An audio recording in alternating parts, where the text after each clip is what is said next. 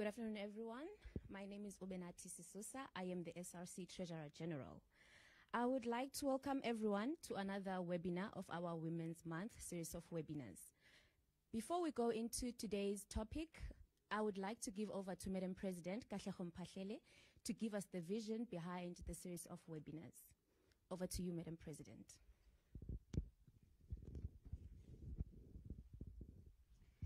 Thank you very much, Madam TG, and good afternoon to everyone.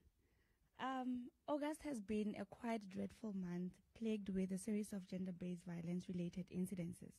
In a month where women are supposed to be celebrated, we see them getting killed, missing, and sexually violated by both their loved ones and strangers. Some of these women are mothers and heads of families who have been displaced by state institutions through evictions and abolitions of their homes during a global pandemic.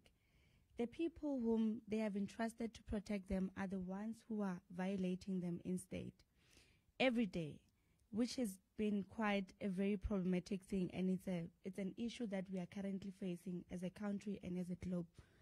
Um, so it has been August has been a quite eventful month and we have realized that women need and deserve some encouragement and upliftment during this period. So, as the SRC, we thought it would be great to celebrate women's achievements and to also bring home the knowledge that would be of great significance to our lives.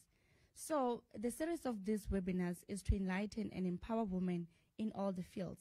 We are talking leadership, entrepreneurship, sports, arts and culture, wellness, amongst other things. So, in an attempt to achieve this, we have invented, um, we have invited a diversified panel of prominent women who have been excelling in different fields to share their knowledge with us. So that is why we thought it's best to close off the month of August with um, webinars that will encourage and uplift women. So yeah, that is just the vision behind this series of webinars. Thank you very much.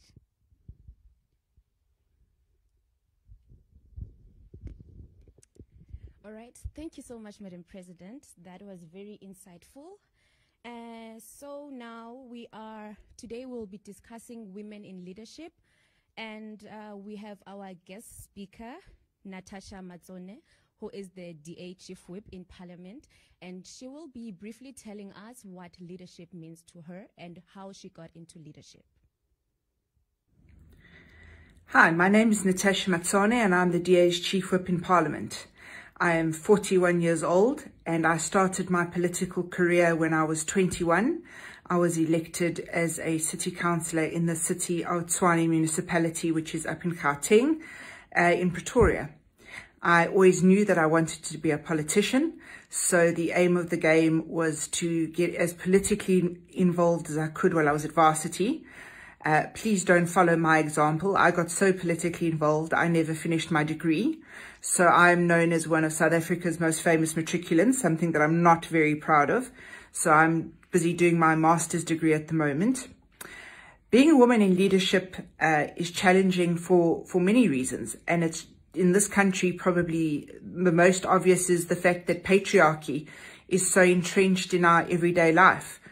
I used the example the other day when I did a debate in Parliament on gender-based violence that the president of our country very proudly stood up and, and showed the country uh, not only were they handing out free condoms uh, at universities and at schools, but they were handing out different flavored condoms because a man's right to have sex is so entrenched that, of course, condoms needed to be handed out for free.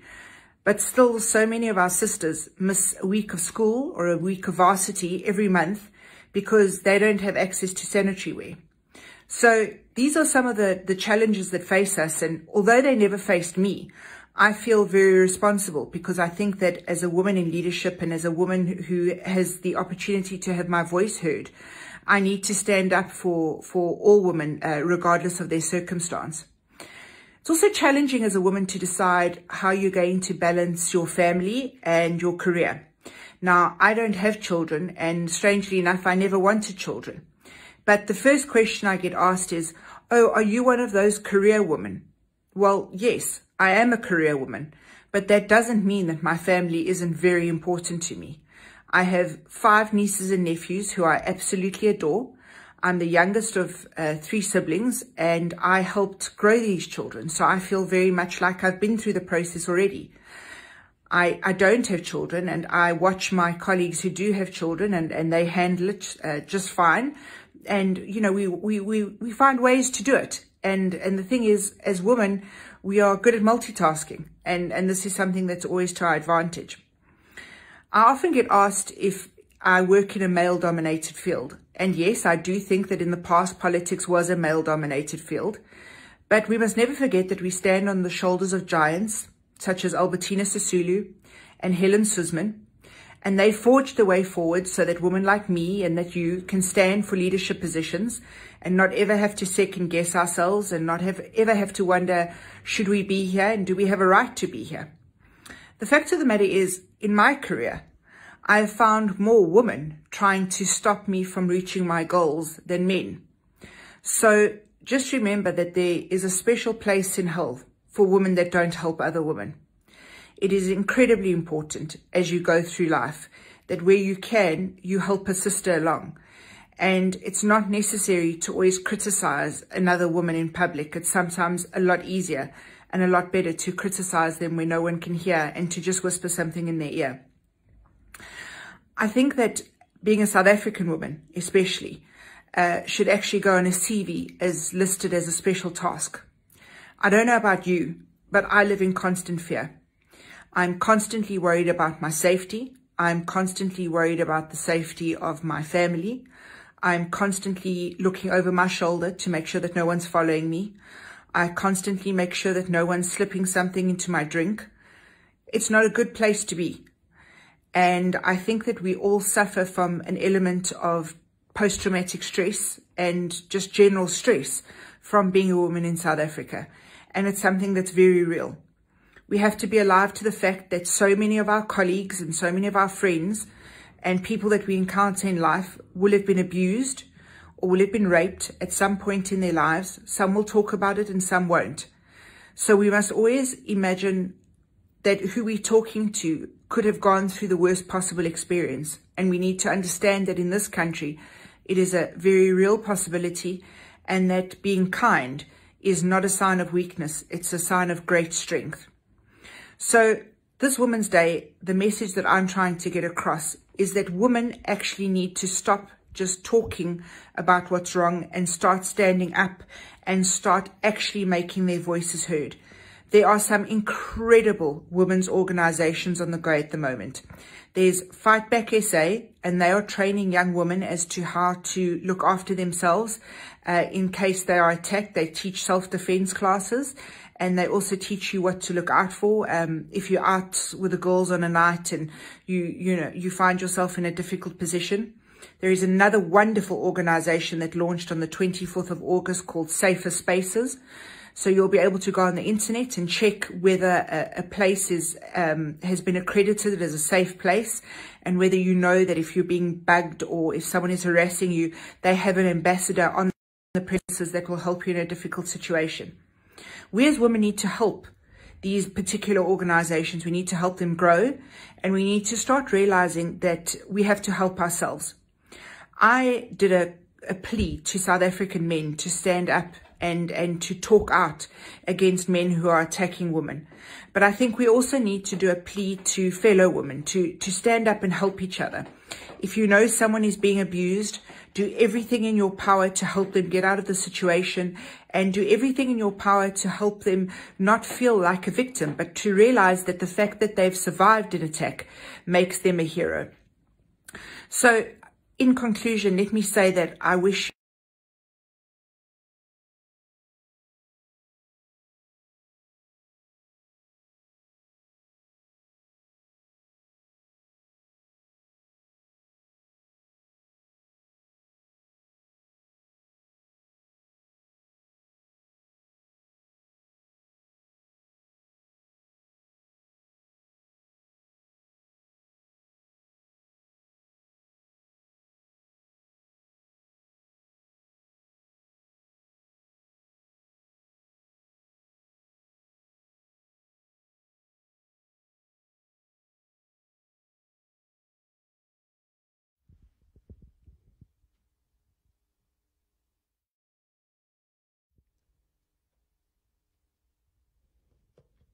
Welcome back, everyone.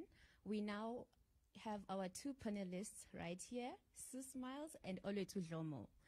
I would just give a brief bio. I will start with Sue Smiles. Sue Smiles has a Bachelor of Social Sciences, Social Work, and an LLB from Rhodes University, and an LLM and a higher diploma in labor law from Wits University. She is a social worker and an admitted attorney. After university, she practiced law in Johannesburg before working at Wits University. At Wits, she was part of the Wits Wonder Women project that develops women in leadership positions. In addition, she was a mentor on the Wits Wonder Girl project that was a Carnegie founded development program. Following many happy years at Wits, she moved to Rhodes as the director of social projects, special projects, sorry. She now holds the title of director in the office of the vice chancellor.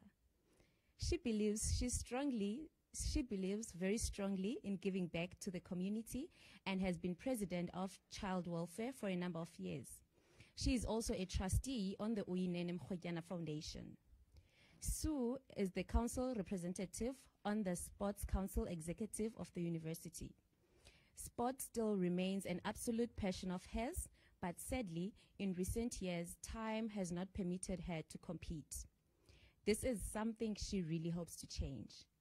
At a training session at the beginning of the year with the student sports leaders, she shared with them that she has played all the sports represented there on that day, with the exception of the martial arts and archery.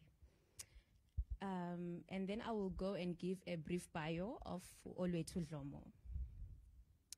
Oluwethu Dlomo is currently doing honors in environmental sciences.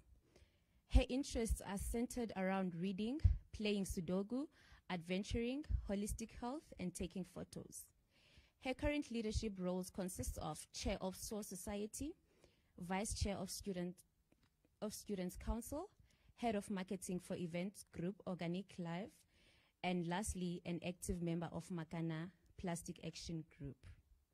She believes that in everything she do, she is consistently trying to be conscious and through that sharing knowledge with people. Welcome, Sue and Oluwethu.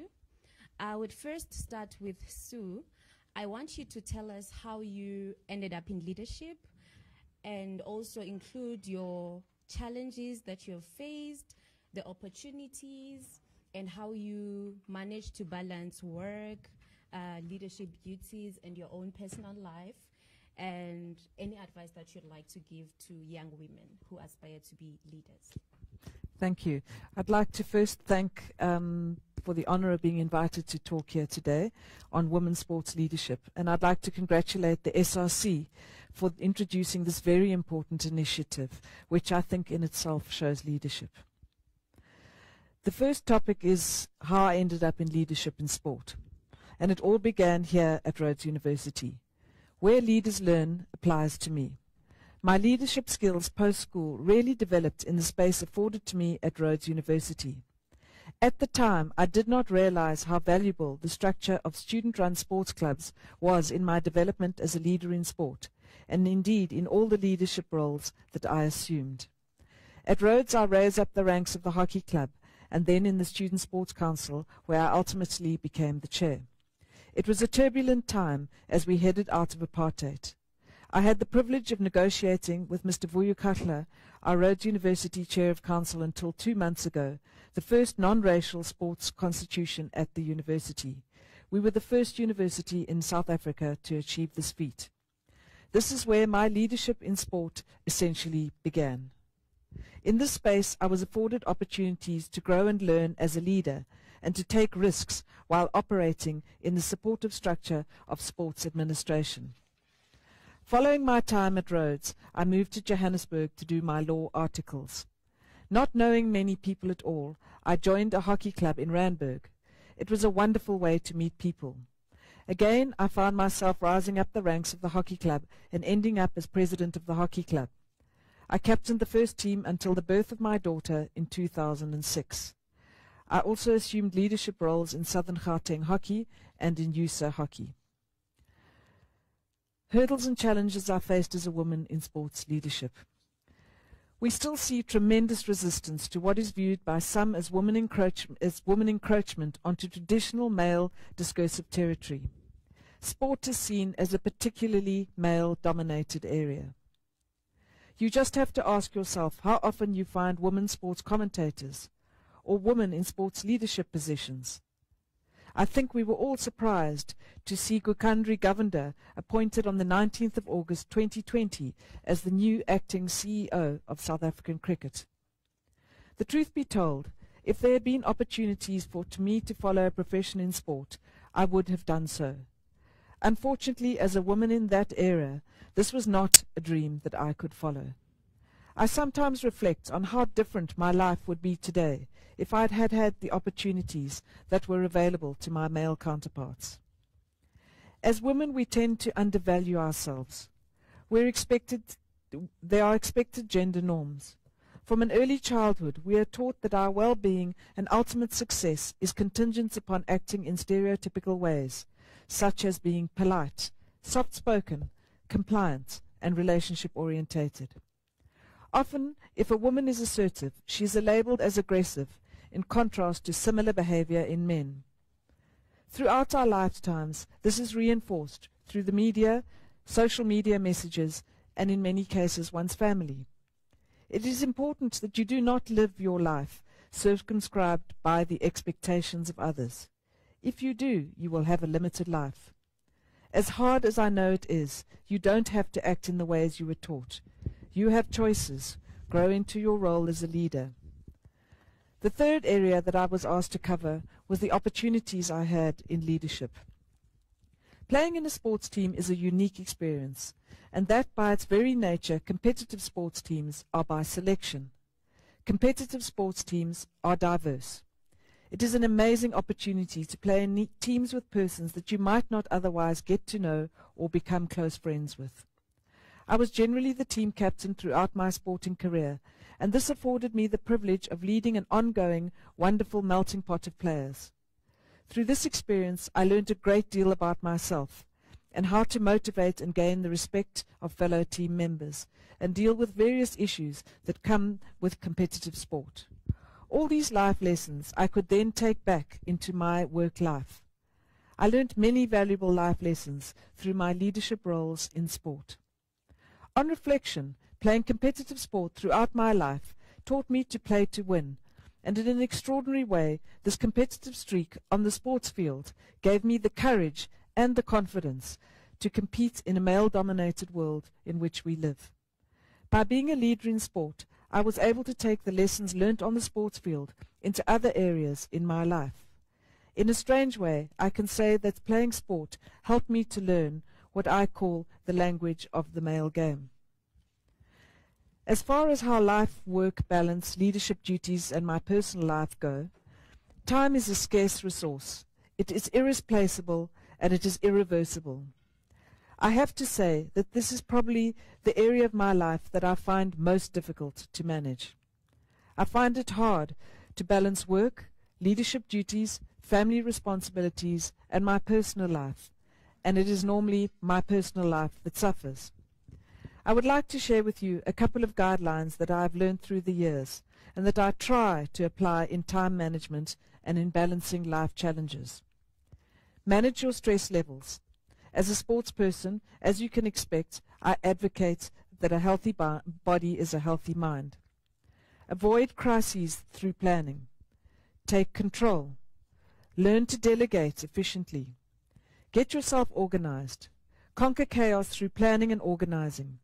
Part of finding the balance might mean scheduling a quiet hour where you don't take calls, visits, or interruptions whatsoever. Set objectives and milestones. Expect the unexpected. There's no day in my office that goes according to plan. Prioritize. Learn to spend your high energy time on big, big projects and not menial tasks. Finally, I was asked to partake advice to young women who are in leadership positions and those who would like to be leaders. I have a number of points of advice that worked for me and hopefully will further develop your own unique style as a young woman aspiring to be a leader. Success breeds success. It has been said that you gain courage and confidence from doing the things that you think you cannot do. The problem encountered by many women is that they often allow others to sidetrack them from their early dreams and career goals. Do not lose yourself in somebody else's priorities or societal expectations. Use self-talk to counter the need to have everyone like you in all the time. Trying to achieve that feat is an impossibility. I'm comfortable being direct. Don't be fearful of hearing the accusation that as a woman you are too aggressive or pushy. Women will often avoid saying things that should legitimately be said. Holding your tongue only serves to make you frustrated and appear less willing than you are really are to speak up for what you believe. Learn to be assertive. An assertive woman believes in the basic human rights of all persons. An assertive woman stands up for herself expressing feelings honestly and comfortably while respecting others' rights. There are four characteristics that can be found in assertive woman. An assertive woman feels free to state what she thinks, feels, or wants. In doing this, if it causes an argument, she can cope with this. An assertive woman can communicate in honest, appropriate, and is direct with other people. An assertive woman goes after what she wants in life and takes responsibility for herself. An assertive woman acts in ways that make her respect herself.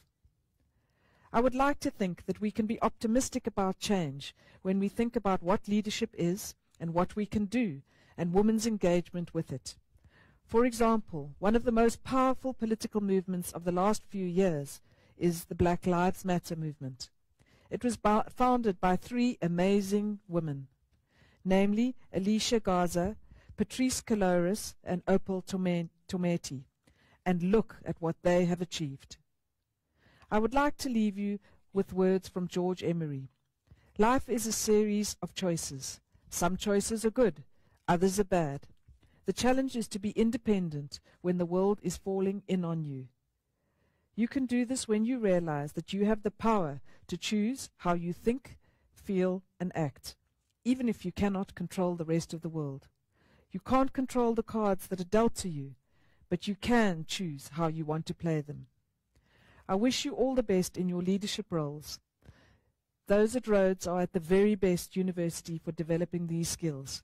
Use all the opportunities available to you and follow your dreams and believe in yourselves. All right. Uh, thank you so much, Sue. That was very inspiring. And I would like to remind everyone before I move over to Olwetu, do not forget to follow us and ask your questions. You can ask on Facebook, Rhodes SRC. You can also text on WhatsApp. The number is 068 051 8784. So I would like to move to Olwetu. Olwetu, um, I have a few questions that I would like you to answer.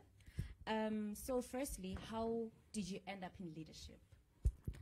Um, I think I've only been in like leadership roles quite recently, and it was quite ironic because I actively didn't like aspire to be in leadership roles. I think more so, I just prefer being like behind the curtains and advising. So like, um, people wanted me to be in the roles, and I suppose I the labels bestowed on me, but I like had to take the um yeah some positions.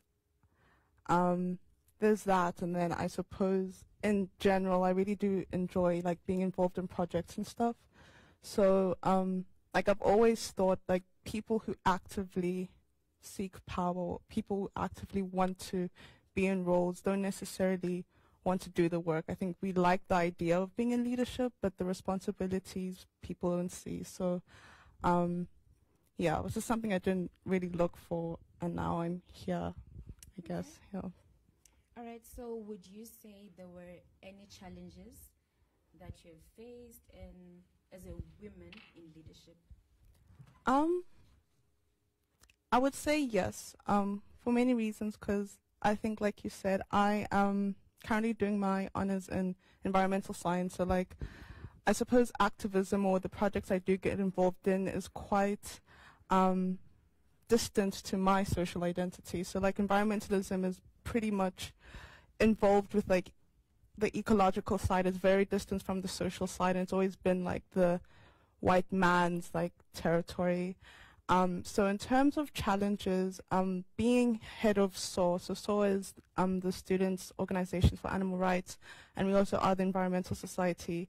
Um, it's just had a history, or there's a perception that people think it is a, a white hippie society. So being a black woman and being interested in environmentalism, I think there are microaggressions that come with it, both from, I suppose, um, people not knowing how to engage in that like realm. So the challenges I do like face would probably be um, I'm not.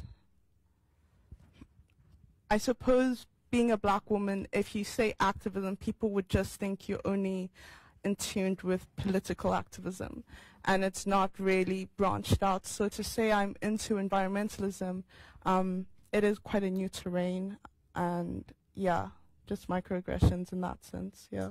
All right. Thank you so much, uh, Oletu. So, uh, how would you say you balance your research? Do you do research? Yeah. Yes. So you balance research, um, the leadership position, and your own personal life. So how do you strike the balance? Um, I'd be lying if I said like I'm perfect and I can do everything.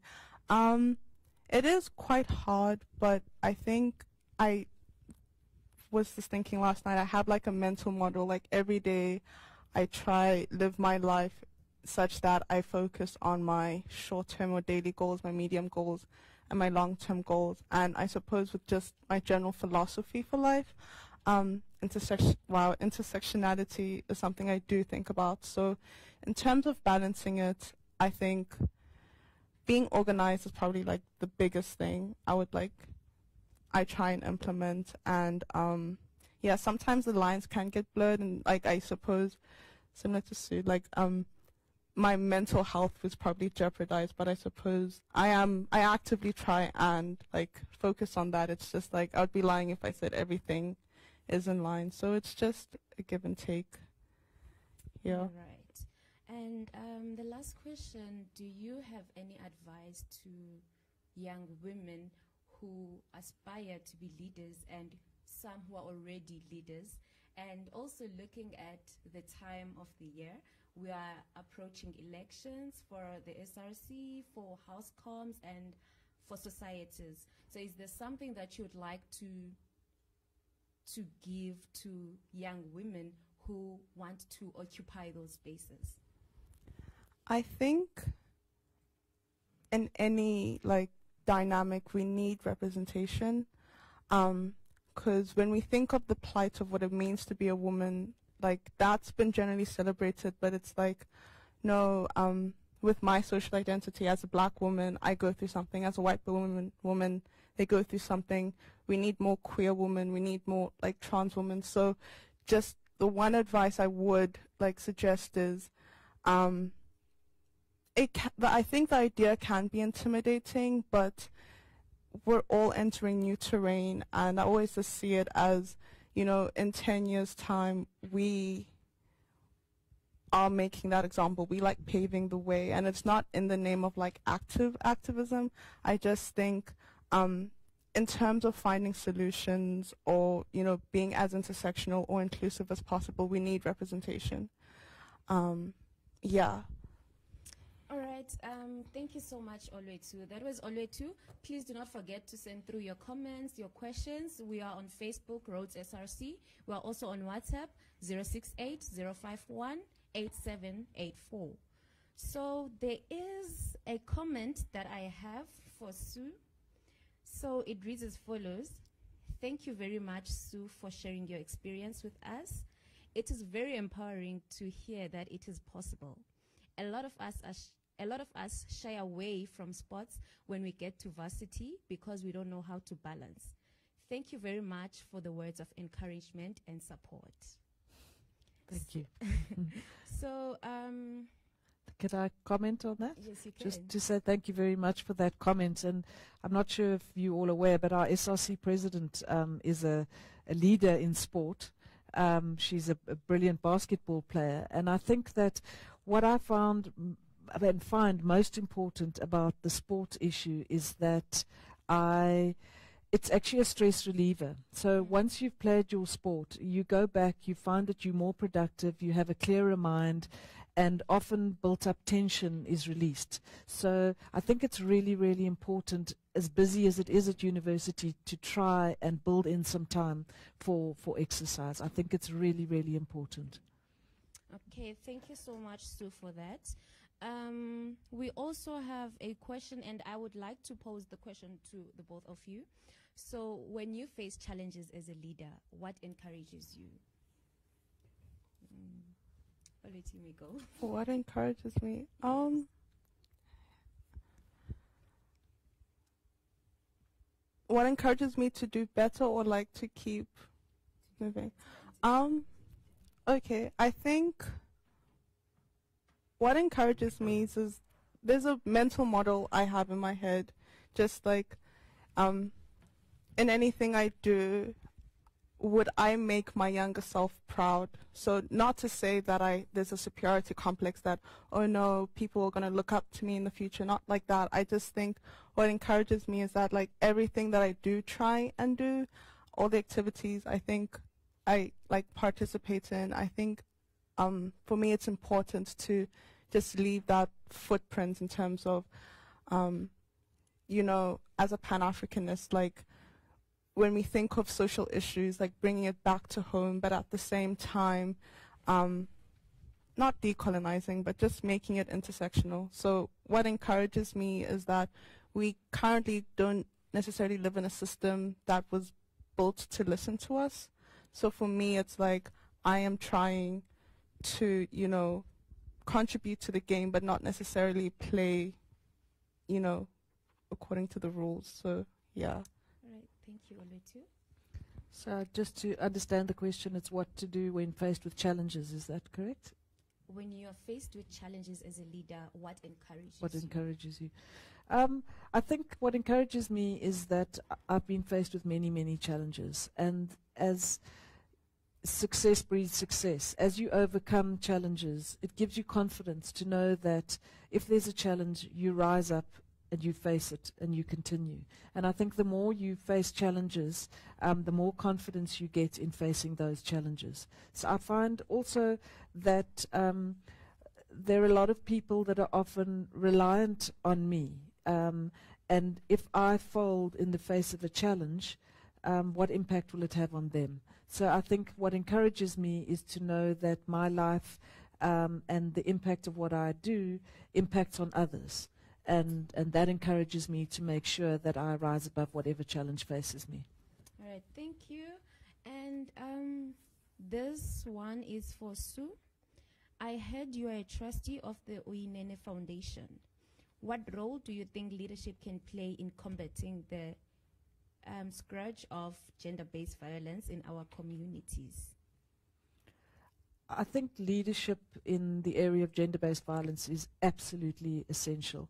Um, yes, I am uh, have the privilege of being a trustee on the Uyinene Mrwetyana Foundation, and what as the foundation we are trying to do is to celebrate Uyinene's life. Um, we want to, and particularly her mother, um, has led the vision for the foundation, which is to arise um, and you'll see that I'm wearing um, of the foundation today, which says that I am Nene, um, and it says, um, yeah. So it basically, what the foundation wants to do is to is to remember Uyinene and that her life not be in vain that we take forward her legacy and we make sure that that doesn't happen to others. Um, I'm the legal advisor on the foundation, and for me, I want to challenge um, the laws of our land. I want us to look at how we deal with gender-based violence in our court system and what can we do to change at the very highest level, not at a, at a low level, but at the highest level in the land. How can we challenge the laws to make sure that um, we can deal adequately with cases of gender-based violence? And also um, the, the State Advocate's Office, they are severely limited in the resources that they have. And you know how do we unlock resources in this area to ensure that we can prosecute those that commit these heinous crimes um, and that they are brought to task? All right. Thank you so much Sue for that. Um, we're going to go on a quick break. But before we go to the quick break please do not forget to go to our Facebook page, Rhodes SRC, to post in your questions. And we also have WhatsApp, 068 051 8784. Rhodes SRC webinar series, In Conversation with Women, coming back soon.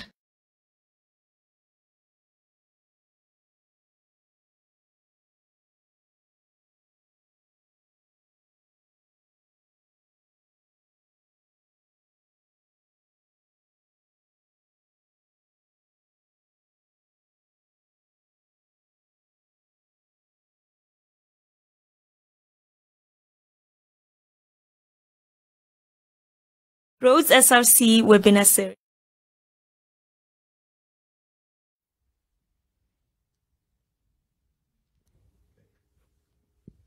All right.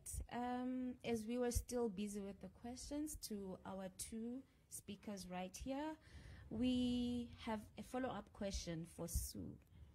Are you mentoring young women who may be potentially be leaders? I, I always try and have a few students that I mentor, um, and generally they're from the law faculty, um, and I they shadow me to a large extent um, in what I do, so they become involved in matters that I do day to day. Um, I do have a lot of of female um, students or no longer students from when I was at WITS, from the Wonder Girl project um, that I'm still in contact with, and also those that have I've been involved in their lives while at Rhodes um, I, are still very special and dear to me, and I do mentor them on an ongoing basis when they have difficulties in their life. So I would say there's probably a group of about 10 or 15 young um, emerging, amazing, wonderful woman that I that I do mentor on an ongoing basis. All right, thank you, Sue. And now we have a comment for Olwetu. It is very encouraging to see young women such as Olwetu occupying these spaces. Continue representing us and cementing yourself, Magwande. Thank, thank you. Um, yeah, thank you. okay, Olwetu. And then there is also a question for you. Do you think being in leadership is helping you shape your career beyond your honors studies? Um, yes, definitely. I think I should have added in my first question. Um, before actually getting like official leadership positions, um, like I was very much involved in the environmental council center and um, just occupying spaces that weren't for me, I suppose. Like officially, like didn't have didn't have the qualifications, like not having a degree or not being in those spaces, but being invited by like adults and stuff. And I suppose, um, I guess in like any dynamic, um, I shouldn't say it's sad because I am in the privilege of being in those spaces, but I suppose um, industries and stuff do favor people who have, um, who do lead. Yeah, so to answer your question, yes, um, definitely. And sorry, I have one more thing. Just being in leadership, like in leadership roles, there's this assumption that like you would call all the decisions and you like, you know, are the only person. But I think in working with a team, um, I just see it as like operating a ship. Like you get the person who steers, but the people who set the sails and the people who work on the engines are just as important. So I suppose being in these positions has really helped me to understand team dynamics in a different way because like um, I suppose if you're not in like vice or chair positions, you have the choice to not fall back. But if you're on those positions, like you have to take that proactive role. So um, it's given me like the privileges to just understand like team psychology and just yeah understanding those dynamics. All right, thank you, Olwetu. I see a lot of questions are actually coming now. So a question again for you, Olwetu. What obstacles have you faced becoming a leader? Who inspired you and why? Lastly, what advice would you give to young women leaders entering a male dominated profession? Um, okay, so I'll answer the last one because it, it flows with. Okay, so um, what is it like being in a male dominated like atmosphere? Um, it's it's quite difficult. Um, I must say, just on a micro level, um, many the like microaggressions that do come with it, and I think being based in so I minored in com- in computer science. Um, I do environmental science, and those are very male-dominated spaces. And like, I think more so, like social science is very disconnected to like um, the, the hard physical sciences. So I think with that, just being doing projects like small group work things. Again, I don't know why, but I would be like the group leader. People tend to not um, like validate you, and it just puts you in this position where you don't want to live a life where you have to prove yourself. Because like, are you doing it for yourself? Um, so yeah, those are the challenges I do fi- like face, and um, I suppose with that, since I guess it is very new terrain and um, there aren't many people that look like me. Um, what I do find is that my issues aren't exclusive in my field. So the people I do look up to, sad, well, in high school, sadly, they were very male dominated and they're all scientists. But I think like now, who I look to are women who aren't necessarily freedom fighters, but like people who are doing the same thing as me. Um, and I think people who are just unapologetic and bold.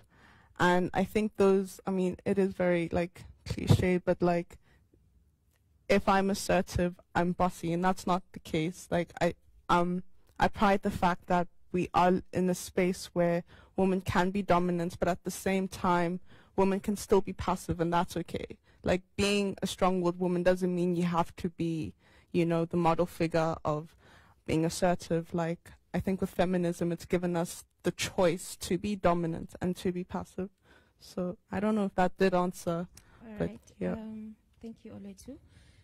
Um, okay, here's another question, Olwetu. Oh. You mentioned that people vouched for you to officially occupy leadership positions, which shows that people have faith in you as a leader. So, question is, would you consider running for the SRC 2021? See. Um. um. So next year I do plan on like studying elsewhere, but if I was to stay, um, I think. Well, I think I definitely would consider it, but I I think I'm too not shy. Shy is not the word. Um, just the stress of being like president of SRC. I don't know, but maybe like environmental rep. Like I do feel I can contribute to that, um, or at least be involved because um, I, I suppose being like vice chair in students council, we do work closely with the SRC. So I'd like understand the dynamics of it, but um, it would be something I would consider. So, you would. Yeah, yes, but not like high positions. I think. Yeah, that. Yeah. Okay, thank you, Olwetu. So, you would consider running for SRC? Y- yes. Yes. Um, Olwetu, we understand that you are a leader in a, in the environmental field too. Do you think the leadership of the country and the university are doing enough to tackle the environmental issues we are facing?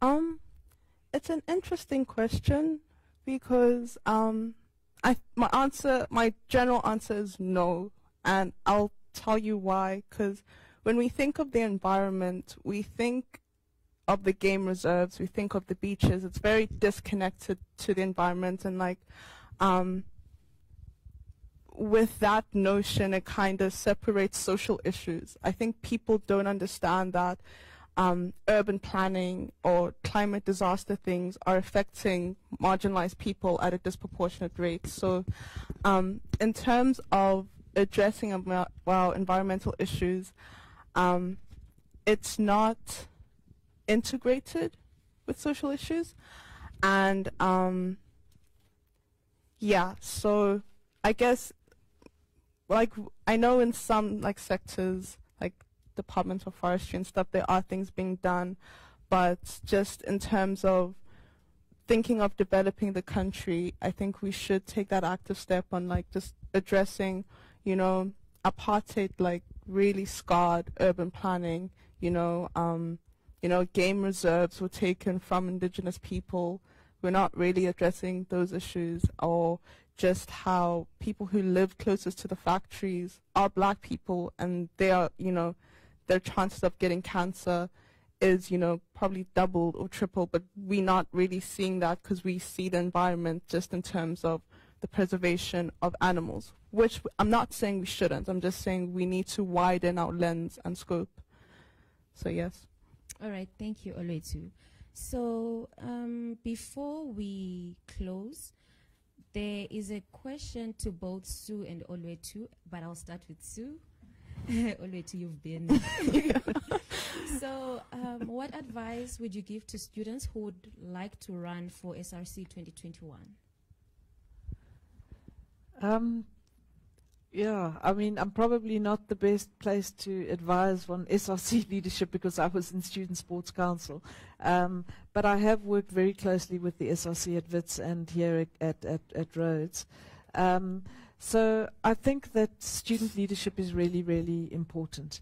I think that this the opportunity of being a leader at Rhodes and, and being serving on the SRC is really, really important. And I think that many students underestimate um, what the SRC does for the university. And I know firsthand how hard the SRC works for the university and for the, the betterment of their fellow students. And I know the sacrifices they make. And I think that if you have a calling to help others and you want to bring about change, um, then then you should look at running for the SRC. Um, and I think that even if you not sure or decide not to run for the SRC, give the SRC your support because I think that the role that the SRC plays is vitally, vitally important. But I do think that it's it's it's a perfect opportunity to become involved as a leader. Um, and become involved in making a difference and bringing about change. And I think that um, if you have the chance and you're able to sacrifice your time, I think that that that you should go for it. Um, seize the day.